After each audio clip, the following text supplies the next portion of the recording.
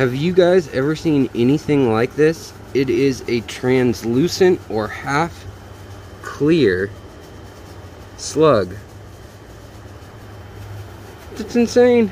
Have you guys ever seen anything like this?